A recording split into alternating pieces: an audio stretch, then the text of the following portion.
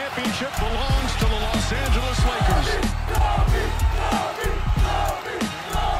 Hello, Lakers Nation. Welcome in. Kyle Kuzma, the boy who lived, the sole survivor, the one young Laker, not traded for Anthony Davis, or as I've been calling him this season, the chameleon, because the way he's adapted his game for the current iteration of the Lakers. Well, it sounds like he's going to evolve once more this offseason, changing his game if everything goes according to plan. Make sure you subscribe right here to the Lakers Nation YouTube channel. And don't forget to ring that notification bell. We've got a lot going on this offseason, so make sure you stay in the know, subscribe, and turn on those notifications. All right, so what exactly is Kyle Kuzma going to change about his game? Well, he talked about it in his exit interview. Here's what he said.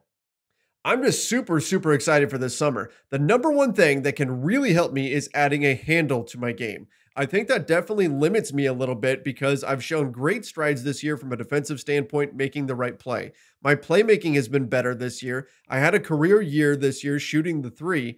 I think if I had a handle, I'm going to make everything come together. And that's the number one thing that I'm really harping on this year.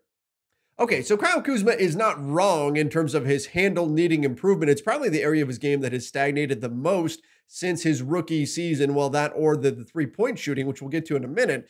But his defense, his rebounding, those things have made serious leaps and bounds to the point where now the Lakers are asking him to not be a power forward, but to be more of a, a small forward, more of a wing for them, and asking him to defend some of the better wing players in the NBA. And he's done a passable job. Again, he's not a great defender. He's not a lockdown defender, but he does okay there. Actually, per 100 possessions, had more rebounds and more block shots this season than, than in any season before. Now, he did also mention the three point shooting, said this was his best three point shooting year of his career, which actually is incorrect. He was slightly, I'm talking about a fraction of, of a percent better his rookie season, but same volume as his rookie season this year, actually uh, in terms of three point attempts, and he hit right about the same amount 36% from three. We'd love to see a little bit higher, but you know what? You'll take that 36% from a guy who can defend threes and fours is just fine. But if he does improve his handle, I think that's going to open up some passing lanes for him. It's also going to allow him to handle the basketball in pick and roll, which we've seen the Lakers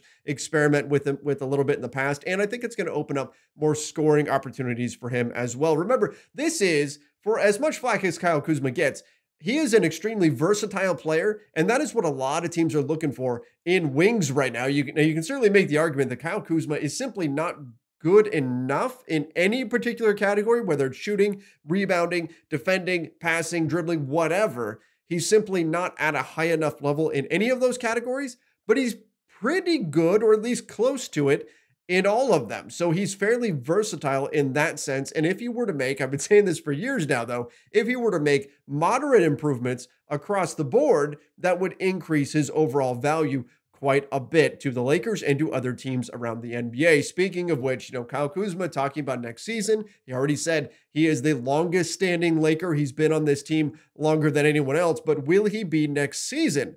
I think he's actually more easy to trade now than he was this past season on a $3.5 million deal last season, where he was also a base year compensation player, which makes navigating a trade with an opposing team pretty difficult. This next season, he's just a flat $13 million contract. And that is exactly the type of money that you typically need in order to go out there and swing a big deal. And we certainly know the Lakers will be aggressive going out and remaking this roster to revamp and get ready for hopefully a championship run next season. So, will Kyle Kuzma still hang on? He's been the subject of trade rumors ever since he got to the Lakers. Will he go through another offseason and suit up in purple and gold next year? We'll have to wait and see. But give me your thoughts on Kyle Kuzma in the comments down below. Will improving his handle improve his overall game as much as he's thinking it will? And do you think he'll be a Laker next season? Again, fire it off in the comments down below. And don't forget, subscribe right here to the Lakers Nation YouTube channel. And don't forget to hit that notification bell as well. Till next time, see ya